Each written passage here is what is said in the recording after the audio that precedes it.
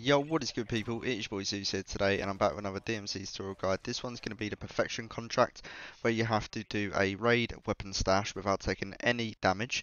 Um, your best bet to do this to be honest, I actually did this with random so I did not even know and went into the game, pinged the uh, raid contract and basically picked it up and then I camped in a building and as easy as it sounds, I literally let them go and do the contract and I camped in a bathroom pretty much the whole time.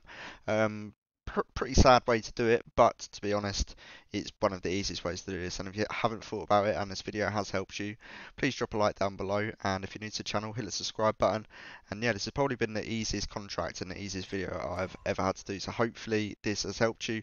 And as always, guys, it's been your boy Zeus, and I'll see you in the next video. Peace.